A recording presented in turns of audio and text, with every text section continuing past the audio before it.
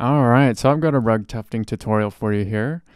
Uh, I got some tips going. We got the time lapse, and I've got some hours behind the wheel now, and I put in some experimentation, to say the least. Okay, uh, trying to see what works, what I can get away with, and I figured out some things along the way. So I'm gonna go ahead and share them. Okay.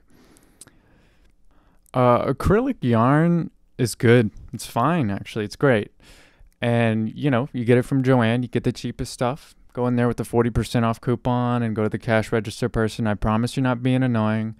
Acrylic's the, the way to go. I mean, it's actually really vibrant. It's more vibrant than the, that uh, healthy natural wool stuff, okay? But you didn't hear that from me. Um, uh, you want to know something that's important?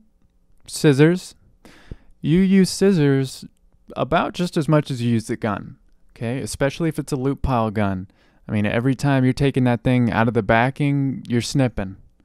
So it would be good to get good scissors, okay? And I've bought a lot of them, and let's go over them real quick. These are called bonsai scissors. They got a cool shape. You slip all your digits in there and you slide them down to your knuckles. And so that'll allow you to grab the handle of your tufting gun while keeping the scissors on your hand. So that's quick access to the snipping. If you're going in and out and you're making a lot of little lines at once with that loop pile gun and you need to snip, print, snip, print, you're all set, okay? These are sweet. And also they have all these pretty colors on them. It's beautiful. Okay, these are important. These are your main boys, okay? High mileage, high usage. You're going to do a majority of your snipping with these. Um, accidentally shoplifted these. These are great. They've served me well. You want big fabric scissors where you can fit all four fingers in and get all that leverage in because you're going to press down on them and snip like 800 times. And so you're going to get cramps, you're going to get sore. It's a lot of snipping depending on how many lines you do, I guess. So yeah, get some ride or dies like these. These are Gingher scissors. These are fancy pants, unnecessarily fancy and expensive. They're like 50 bucks. You may have seen them at Michael's. I think they usually keep uh, like a security guard in front of them or something. And you don't need to spend that much money, okay?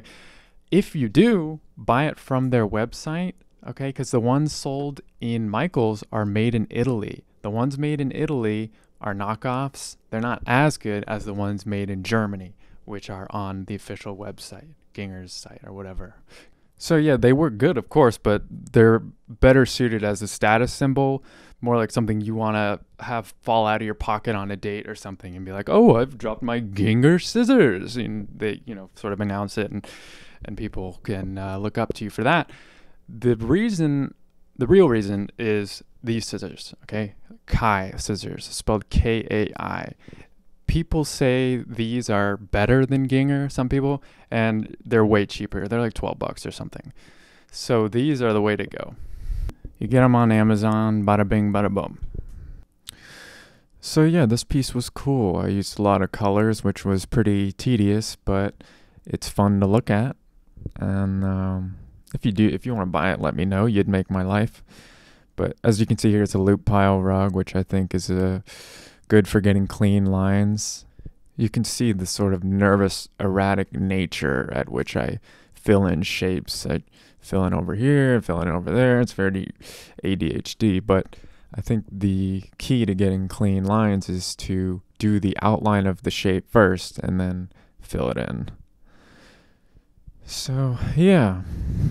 I had someone tell me that this face looks like how they feel on the inside. And I thought that's nice. That's a nice way to look at it.